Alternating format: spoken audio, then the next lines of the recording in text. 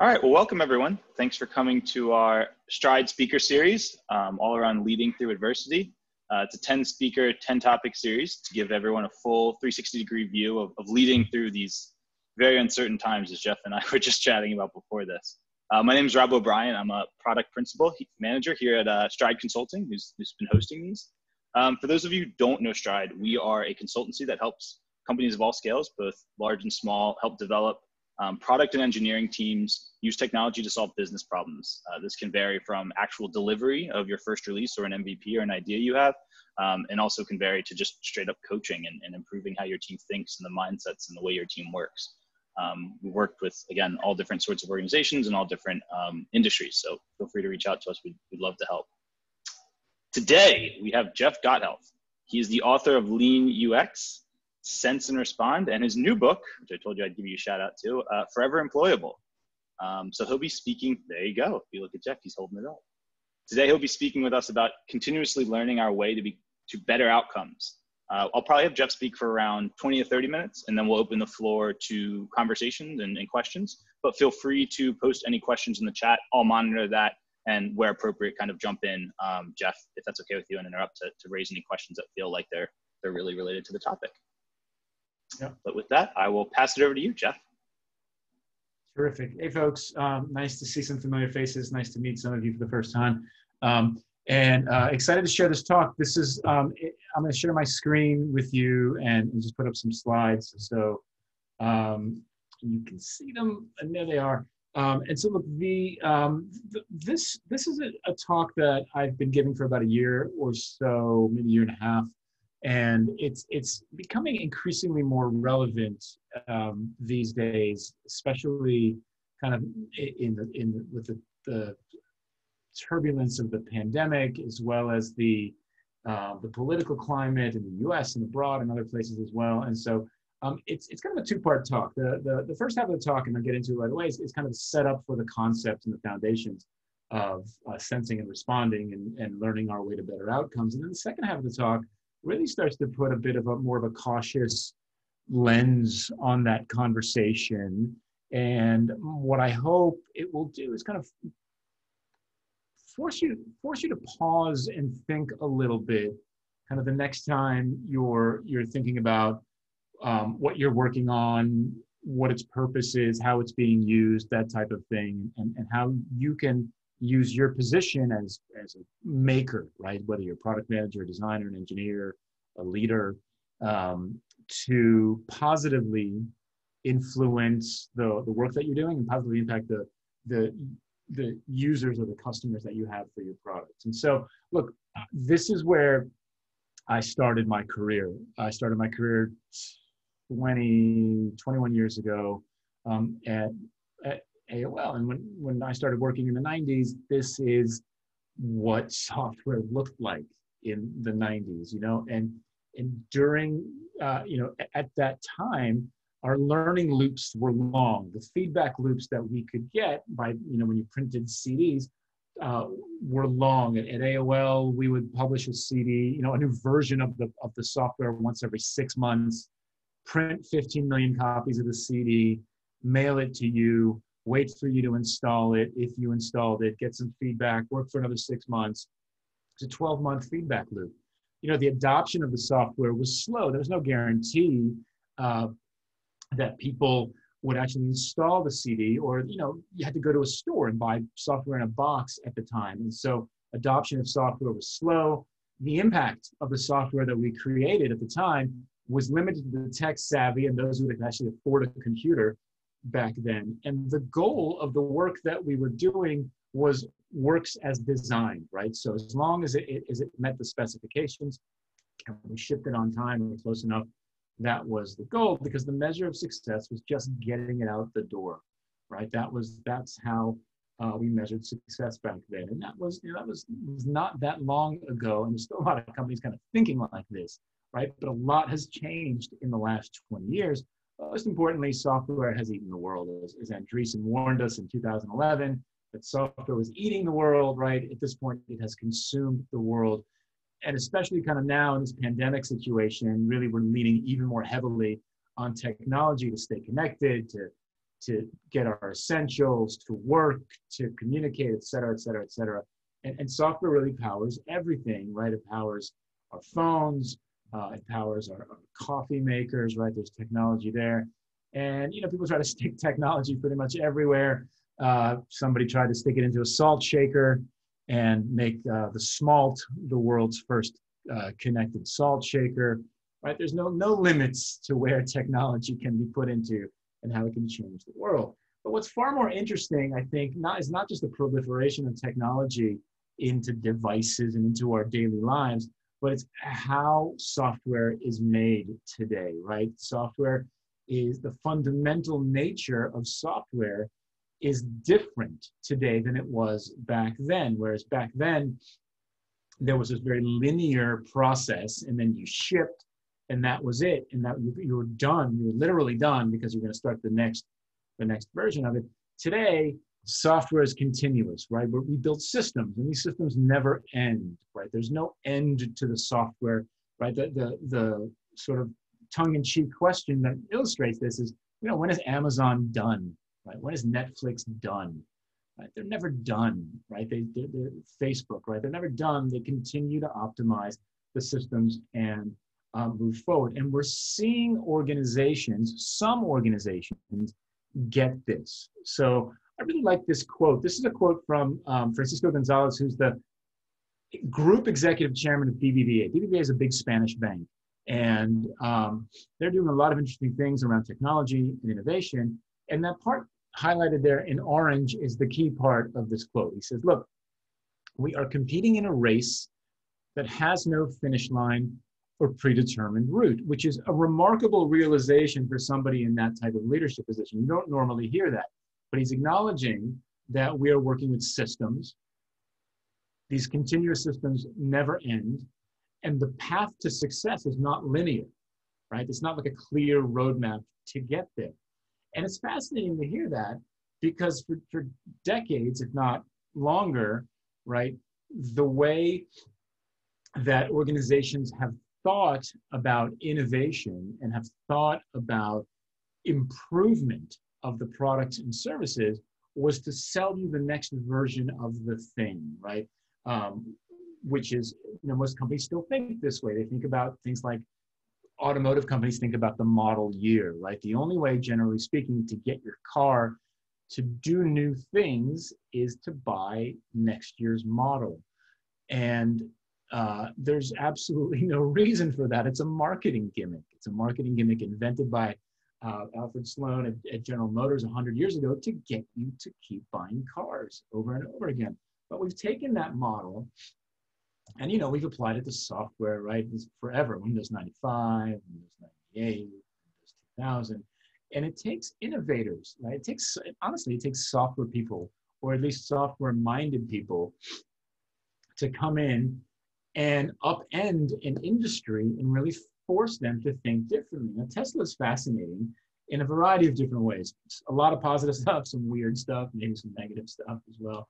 Um, but the bottom line is that these were software folks thinking about building cars, in this case, electric cars. And the difference here is that you don't necessarily have to buy the 2020 model or the 2021 model to get your Tesla to do new things, right? Your Tesla does new things by sitting in the driveway overnight. And then when you wake up in the morning, the software updated, and now the car can drive itself or can park itself or can meet you around the house. And what's interesting is that Tesla builds this kind of intelligence into everything that they do and the entire system that supports the cars themselves.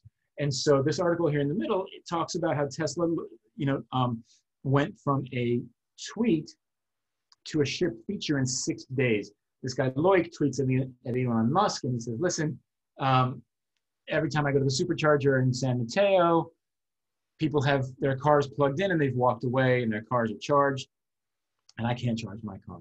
And Elon Musk, you know, generally speaking, he's he's listening, he's sensing, and he's responding feedback to feedback. He's the CEO of the company, and he says, "Look, you know, this is a problem. I'm on it." And then six days later, Tesla ships a software update, and that software update updates the supercharger system. And now, every minute that you remain connected to a charger after your car is full costs you money, right? and that fundamentally changes not, not the system, but the, the, the, the kind of the, the way that the system operates. And the only way that they can do this is because they think like a software company. There is no way that a BMW or a Mercedes or a General Motors could react to something like this and change the way that the vehicles work in six days, which is crazy.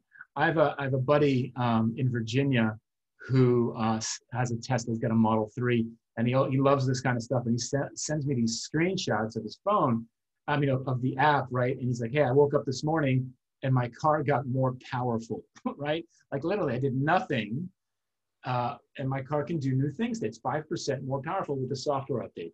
That's the kind of stuff that we can do with continuous systems, right? We can continuously improve the customer experience, the user experience. And, and with this capability comes tremendous opportunity, right? We've got the opportunity to, to use these systems to create a continuous conversation with the people that we serve on a regular basis, right? We can get ideas into market quickly, small things, right? Small updates, prototypes, whatever it is, into the hands of our customers very quickly. We can sense very quickly how those things affect the behavior of our customers because we collect that data from our systems. And then we have the option to answer the question, what are we going to do about it, right? If it's positively impacting customer behavior, what are we going to do about it? If it's negatively impacting customer behavior, what are we going to do about it? And the nice thing about it is that our goal should be to get through this feedback loop as quickly as possible. This is a feedback loop, right? And the reason why we want to get through this feedback loop as quickly as possible is because every time we get through this cycle, we learn something. And the faster that we can learn that thing, the less we've invested in that thing. Which means that if we find out that we're wrong, that it was a bad idea, it didn't help the customer experience, it didn't, it didn't help in any particular way, it hurts less. We can let that idea go and figure out how to improve it and move it forward, right? And what this ultimately does is it forces us to rethink how we treat the technology that we build into our businesses that powers our businesses. And ultimately, it's moving away from this model of a software factory. Like the idea that generating more features is value is actually false, right? More code does not actually equal more value. In fact, the only thing that more code guarantees that you get is more code right? That's it. It's the only guarantee. Beyond that, whether it's valuable or not depends, right? And so we've got to change our measure of success, right? The, the deployment of features doesn't necessarily make the system better. It's the optimization of it. Because at the end of the day, look, it's a lot of like, you know, well, we can build it, so let's ship it, right? And the reality is that we just continue to ship features without actually sensing and res- sensing whether or not they're delivering value. You end up with products like this that may look cool to some folks, but the reality is that um, you know you, you're going to use if you're going to use it at all, you're going to use you know a tenth of that particular product. Right? It doesn't. But this is like you know Microsoft Word in electric guitar form, basically. Like that's that's the kind of stuff we're talking about, right?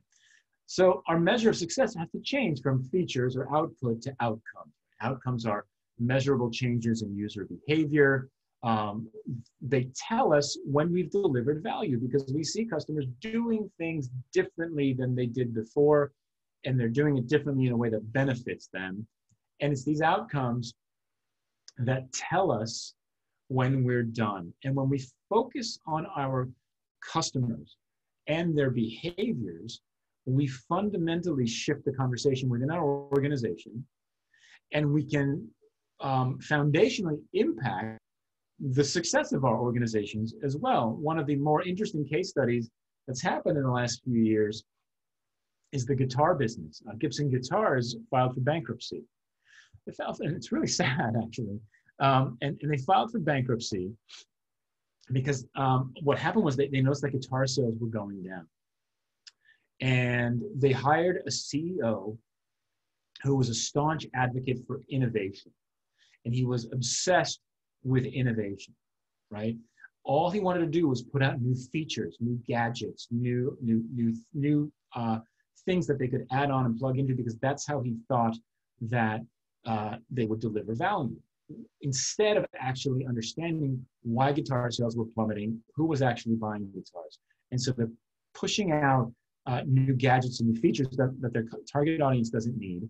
And if you go to their website, right, nothing on their website ever changed to really address any fundamental changes in their marketplace. They're still advertising with sort of the traditional guitar gods, right? So Slash in this particular case.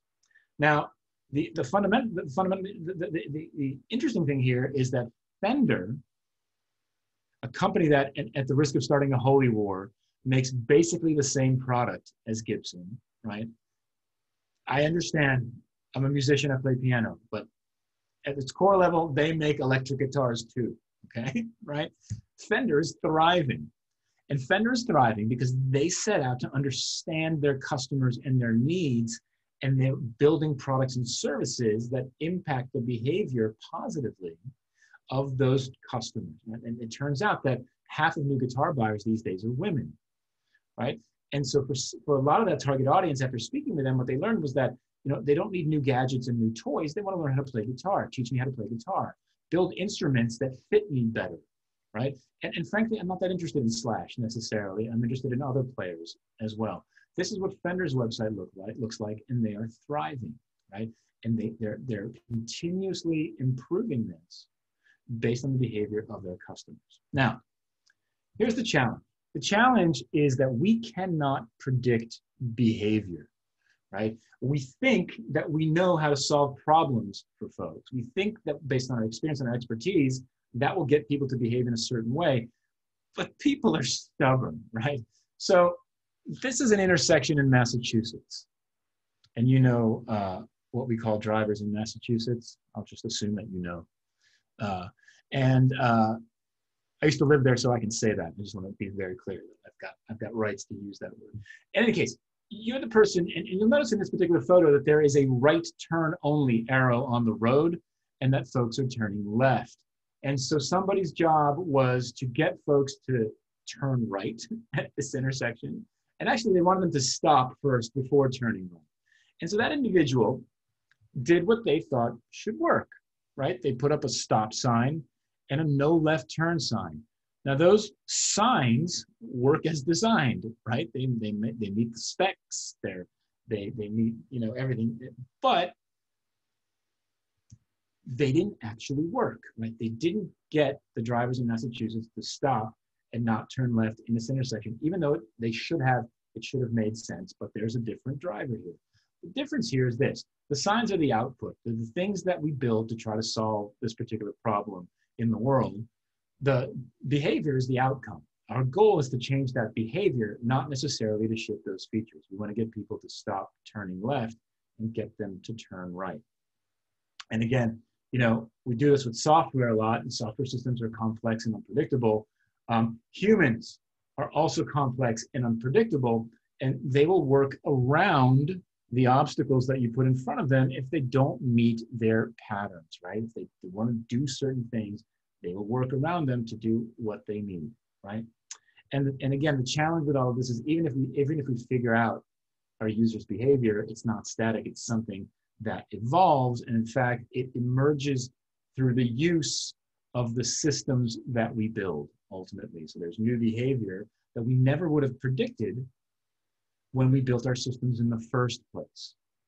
Right. So even if even if we have a specific thing that we'd like people to do, they end up doing things that we never we never expected. Right.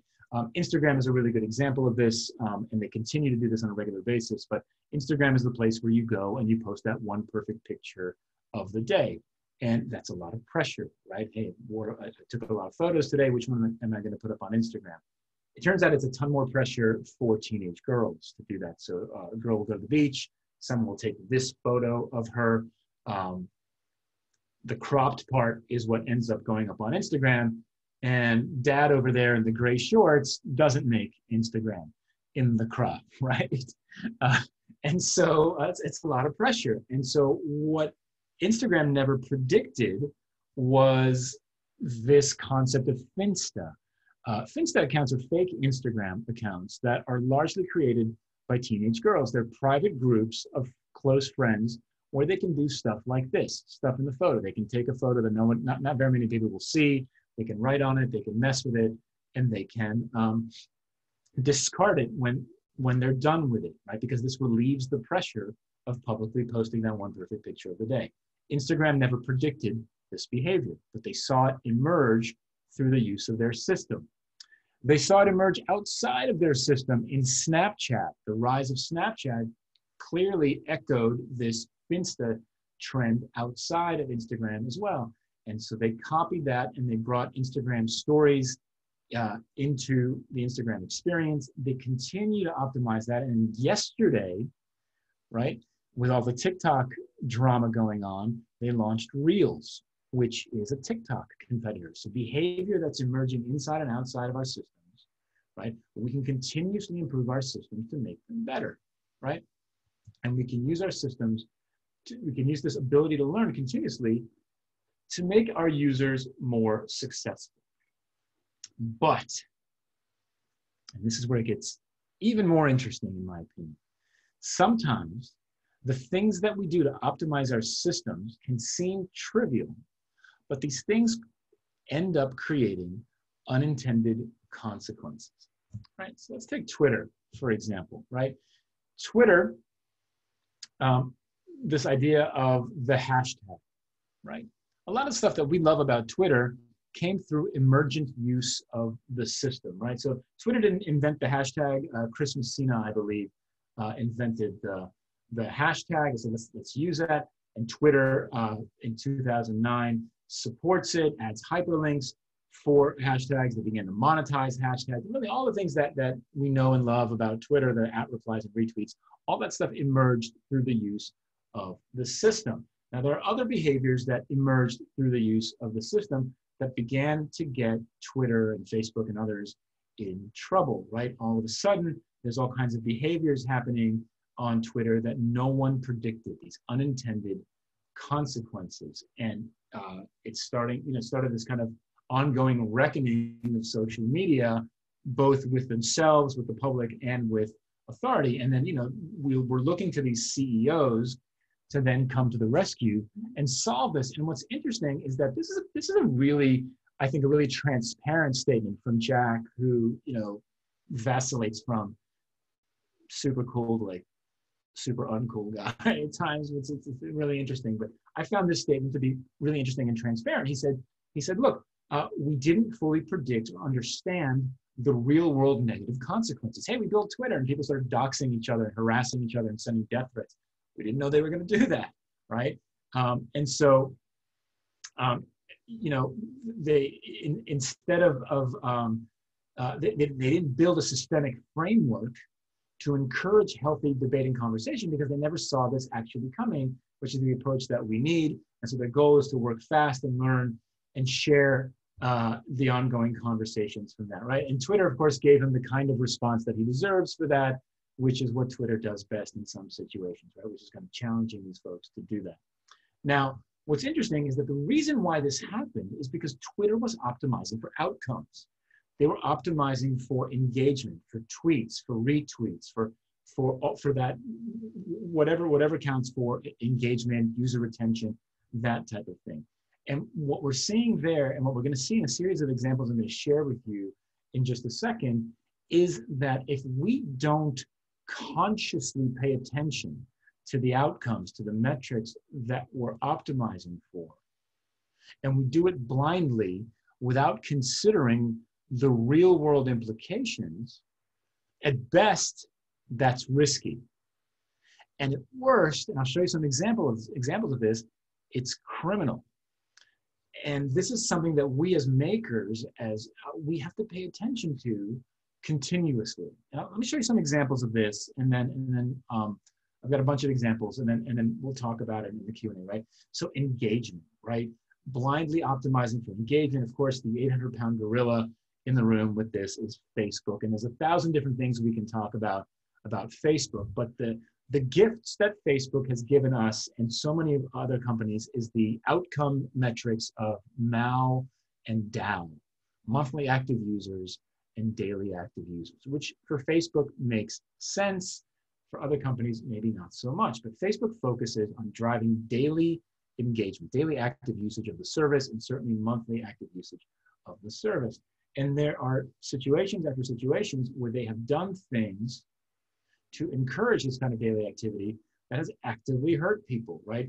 They were clearly implicated as a platform that enabled the proliferation of human rights abuses in Myanmar, right? People were outing the minorities that were being persecuted in Myanmar on Facebook because Facebook is the internet in Myanmar. And essentially, they were aiding genocide there. They were clearly, uh, you know, noticed, uh, noted for this, right? Um, and they would have to, you know, fix this and get it right. They were seeing people engage in Facebook, so they were showing them more of the same stuff that was engaging them, which was, hey, I found this this minority over here, this minority over there. Let's let's go get them, right? Um, when it comes to their their um, political advertising, right? Uh, very famously, up until yesterday, or I think maybe even this morning, right? Up until yesterday, basically, they're like, look, if someone's going to lie on the platform, well, it drives engagement. So especially politicians, we're just going to keep it up there, right? I think they did censor a Trump thing today. But generally speaking, they're like, look, if it drives engagement, we're going to keep it on the ad, we're going to keep it on the app, and we're going to keep showing it to people, right? YouTube is the same thing. Also optimizes for engagement, time on site, number of videos views, viewed. Those are all outcomes. Those are all measures of customer behaviors, and they're continuously optimizing for that, right? But this is, you, you start to, whether on purpose or accidentally, watch some content on YouTube that might be that might have some negative content, and they're going to show you 50 more videos like that. And all of a sudden, YouTube is being used as a radicalization vehicle for for folks to to to really like turn them against society and whatever else, right? Because the algorithm continues to serve you up more of the stuff that you're watching. And the metrics go up and everybody's happy, right? Advertisers happy, right? So that's engaging. Um, in the name of sales, when we blindly optimize for outcomes in sales, it can cause relationship stress. There was a very famous, uh, I, think it was famous story about how Target figured out through data analytics and and and uh, you know machine learning and that type of thing, uh, they can figure out when you're pregnant based on what you search for and what you buy and that type of behavior. And Target figured out that a teenage girl was pregnant based on her search history and based on what she was buying at the store. And they began to send her um, advertisements targeting pregnant women to her house and to her browser. And her parents found those things before she had told them that she was pregnant. Right? So all of a sudden, Target is outing the pregnancy, this girl's pregnancy, to her parents right? Someone wrote the code to capture all that data. Someone wrote the code to analyze that data, and someone wrote the, you know, optimize this behavior, right, to drive the kind of sales outcomes that we are looking for, not thinking about the negative, the potentially negative real world consequences. Uh, in the name of efficiency, we can drive up discrimination. Um, Amazon wrote an, an AI to screen resumes because they get tens of thousands of resumes all the time. Well, the biases of the people who wrote the AI ended up in the training of that algorithm that, that was sorting through these resumes, and it scored resumes lower that included words like women's or women's chess club or all women's colleges and it reduced the, the viability of those resumes because of the biases that were built into that algorithm based on the people who wrote that particular code, right? And that's something that, that again, we think is, is increasing the efficiency. Efficiency is an outcome, right? To make our recruiters more efficient is an outcome. It's a, it's a benefit to the business. It's a benefit to the people who are applying for jobs at the, at the organization, but there's a negative real world consequence here. Um, AI, again, using video, your performance on video to determine and to com compare and contrast it against 25,000 other video clips of people who have done your job well to determine whether or not you're going to do your job well. And again, um, inevitably, these algorithms have built-in biases in the databases that could discriminate against some candidates. And again, all of this is in the name of efficiency. And someone's writing this code and someone's publishing these this software and continuously improving it, right? Um, in the name of convenience, we can actually use these tools to hurt people. Again, we don't we don't make most people don't make these products with the intention of this happening, right? But we have to start to think consciously about how we're optimizing the usage of our products. So home automation systems, smart homes, right? Internet connected locks and speakers and thermostats and lights and cameras are amazing conveniences that are now also being used as a means for harassment. So couples break up, right? And they break up on bad terms, and all of a sudden they are now abusing each other by messing with the house, locking the doors, turning the heat all the way up or the AC all the way down, the lights off, right? Turning the alarms on and off, that type of thing. Again, none of this behavior was planned for, but nobody nobody even paid attention to it until it was too late in the system because we're optimizing for the convenience of the system, which again is an outcome. Uh, and then look in the name of news, right? And and viewership and eyeballs, it can really elevate uh, elevate the worst in us to to uh, you know, and we continue to see this happening today, right? Um, and the reality is is this: um, all the people who built these particular products and services thought they were solving user needs, right? I'm solving a problem for a customer. I'm making more efficient or more convenient or more engaging or more interesting or selling more stuff or whatever it is, right? And the question we have to continuously ask ourselves today, especially as we're building these systems, is are we solving user needs or are we exploiting user needs, right? Because both of these things can make you money.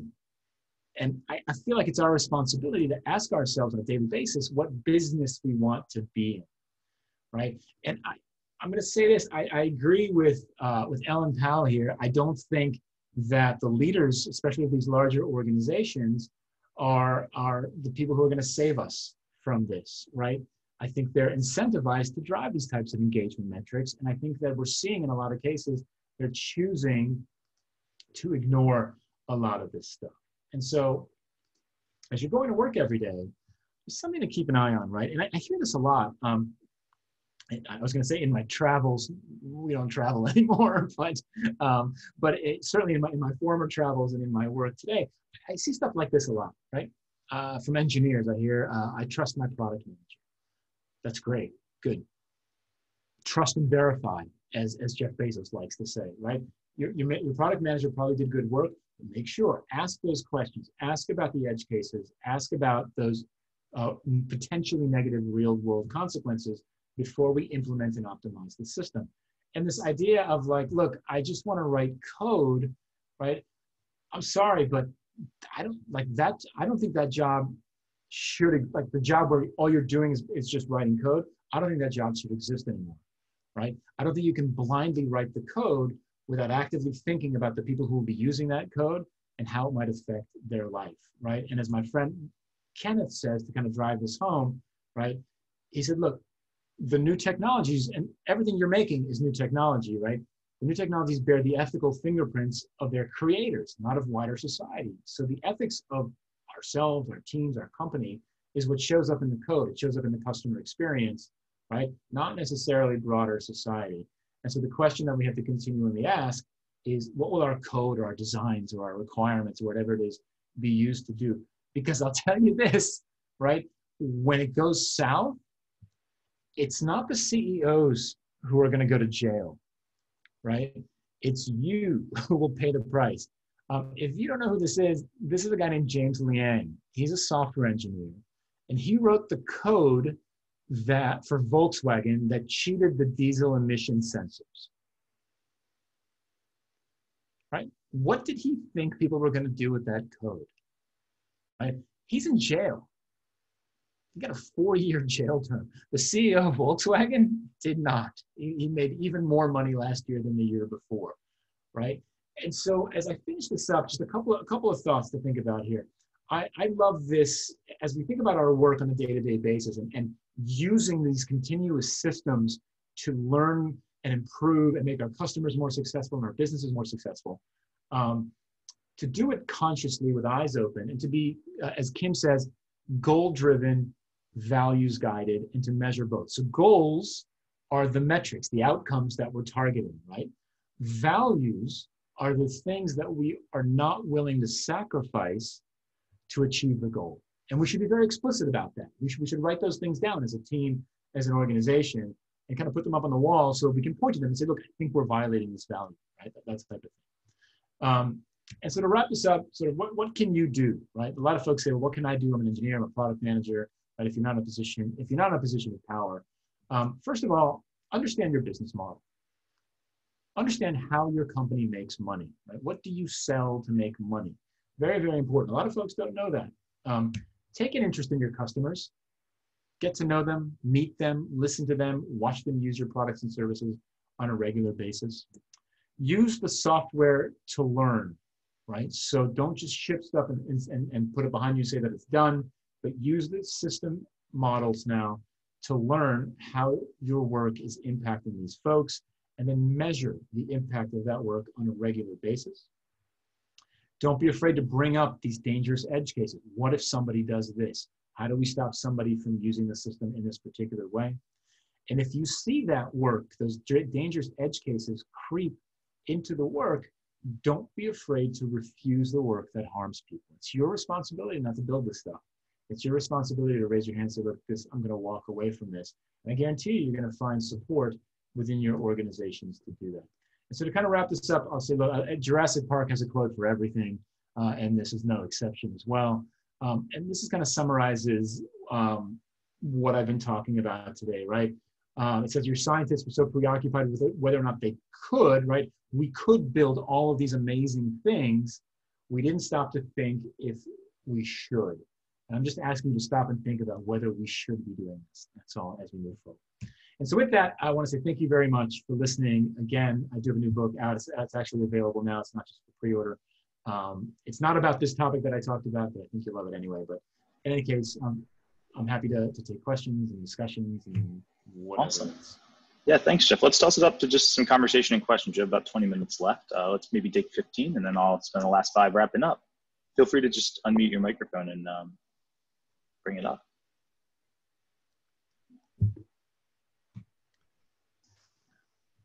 I will say this while you're thinking about a question to ask. Um, I've given this talk a few times, and um, often there aren't a ton of questions after this, right? No, and it's and it's and it's fair. I mean, obviously, if you, if you have a question, please do ask. I'm not I'm not trying to discourage you from asking, but my experience has been that often there aren't a ton of questions because it's it's just kind of a lot to think about. But if you do have any questions, I'd love to hear them. It sounded like Rob was unmuting. Yeah, go ahead. I, I noticed, Jeff, that you spelled um, behavior with a U.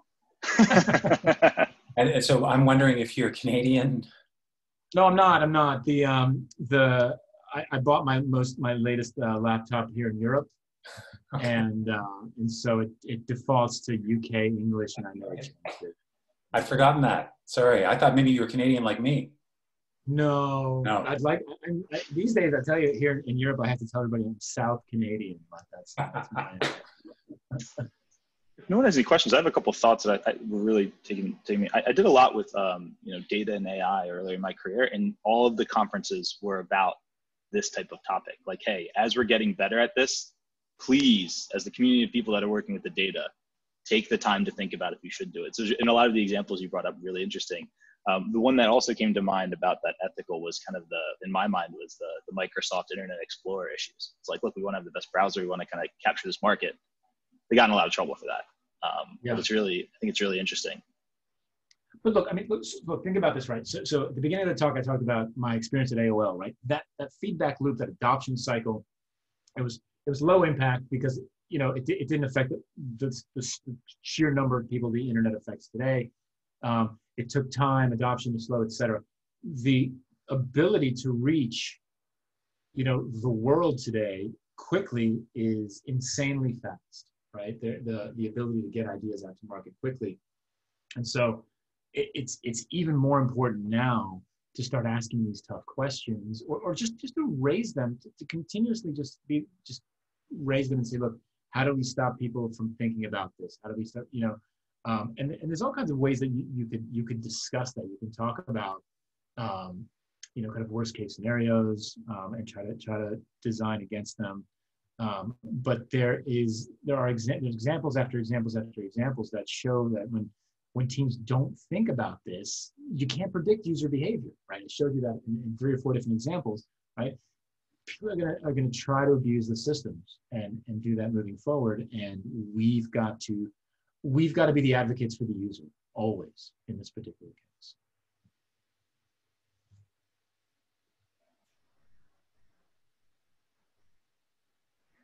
Thoughts, questions? Go ahead, Stephen. I don't think we can hear you, Stephen. Yeah. You're unmuted, but we can't actually hear you. Can Maybe you? he's double There you go. There you go. All right. Um, so I, ju- I just I thought I'd make a, a comment, um, especially the thing you just said there, Jeff. We're we've got to be the advocate for the customer, and um, it's quite an interesting experience. I, I work at Microsoft uh, and the the Visual Studio team at Microsoft, and we over the last few years have sort of transformed our, our culture within the developer division to be one from you know 20 years ago when I joined the company, it was a case of well we know it all. We don't need to talk to customers. Why should we talk to them? And now we're a we we're, we're a learn it all culture. We know nothing. You know we have to speak to customers all the time, and we have that shared learning. And when I say we, I don't just mean the 20 UX researchers that we have in a division of two and a half thousand people. I mean those two and a half thousand people. So my job has been to coach the rest of the division now and how to speak to customers, how to learn from customers. And when that's a continuous process, you start to pick up on trends and things way earlier than we might ever. So some of these unintended consequences and unintended behaviors we start to become more visible. And because there's it's shared, it's not it's not as if you know the UX research team has done some work and discovered something, then we have to convince the rest of the division that this is happening.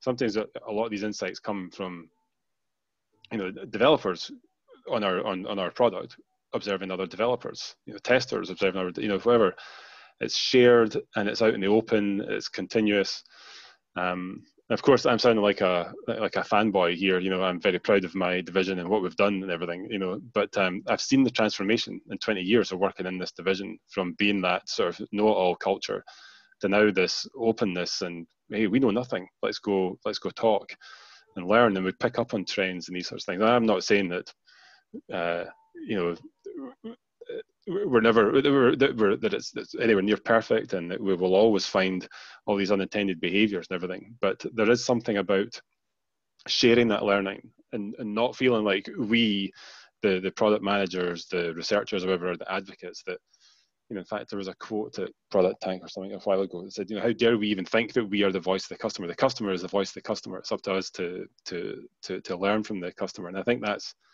you know, important that that share that learning, that you know, be continuous learning and and, and shared and, and transparent is just um, it, it's it, it's worked it's worked magic for us in dev. And of course, we are we, we focus on outcomes and everything as well, just just like you're saying.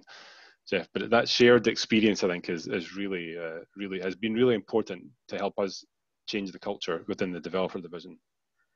What, what, what do you think? It's, fascinating to hear, right? And it sounds like you've been there 20 years. Like, what what drove that change, right? And that, look, it's a massive company, right? So Yeah. driving that kind of cultural change in an organization of that size feels like an impossible task. How did it, how did it happen?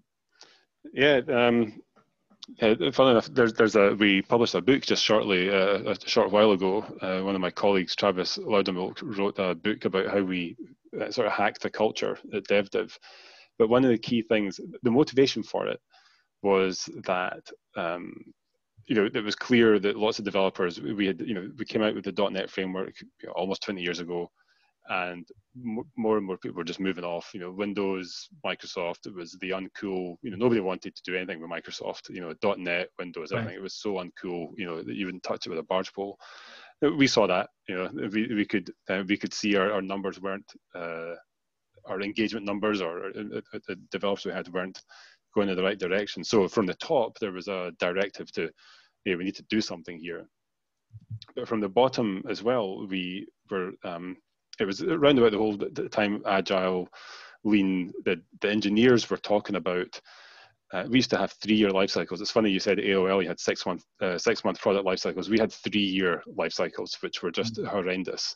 Nobody enjoyed it. Nobody thought that was a good way to build a product. So when Lean and Agile came about, it was oh great, fantastic. We can start to experiment. We can start to, you know, validate. We can get these super uh, faster cycles.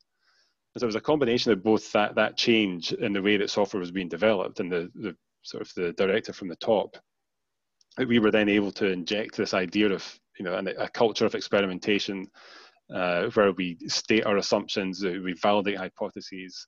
Um, and that, that was terminology that had been introduced elsewhere. And so in, in the research team, we you know, took that on and sort of tried to change the language, you know, helped change the language of the whole division. And when you start to change the language, then people start to behave differently. And it just started sort of rolled. We, uh, we're still going through that transformation. But like I say, when I look back, 20 years ago, over 20 years ago when I joined, and now it's it's a, it's a the difference is, is remarkable.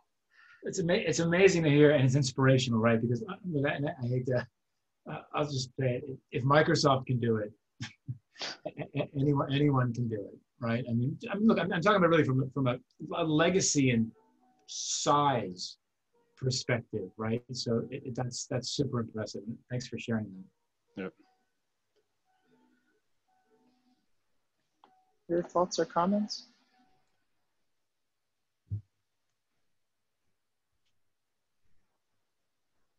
Bobby, you're trying to say something? Mike?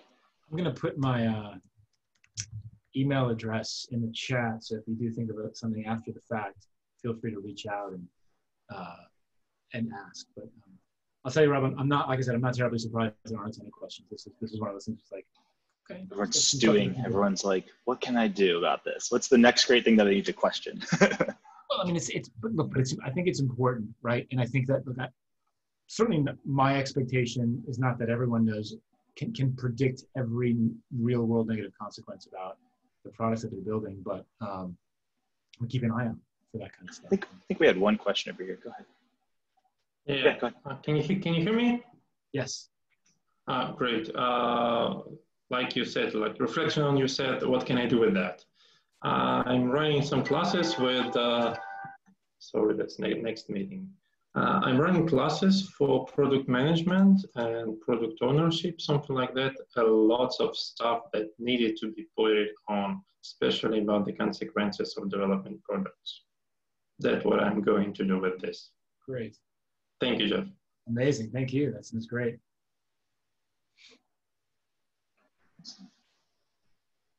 All right. Well, if there's nothing else, guys, we can wrap up. I wanted to thank everyone for coming. I wanted to thank you, Jeff. Uh, this was fantastic.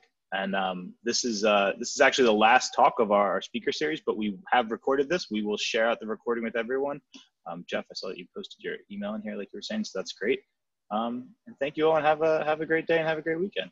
Yeah, my pleasure. Thanks so much for having me, folks. Thanks for coming, and uh, I'll talk to you soon. Thank you, Rob. Thanks, Thanks guys. Be safe. Thank you. Guys. Thank Jeff. Thank Rob. Bye.